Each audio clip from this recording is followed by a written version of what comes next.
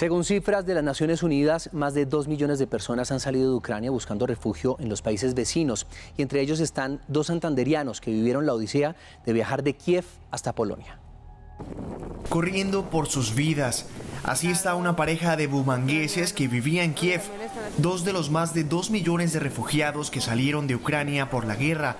Ellos sufrieron casi una semana de travesía con días sin comer ni dormir. Nosotros en nuestra calidad de extranjeros se nos, se nos dificultaba muchísimo más la salida porque eh, vivimos mucho racismo. Tuvieron que lidiar con atropellos y discriminación del ejército ucraniano. Nos interesa mucho que ahora con esta información se pueda hacer algo realmente allá. En esa fila tendríamos que estar nosotros, pero venimos del lado ucraniano, donde también lo están haciendo como mala cara. Después de cientos de kilómetros esquivando todos los peligros, llegaron a Polonia, una parada mientras descansan porque la meta es alejarse lo más posible de la guerra. Ahora mismo nosotros eh, justamente vamos a volar a Barcelona, que es donde residíamos antes de estar en Ucrania. Por fortuna lograron salir gracias al apoyo del gobierno colombiano.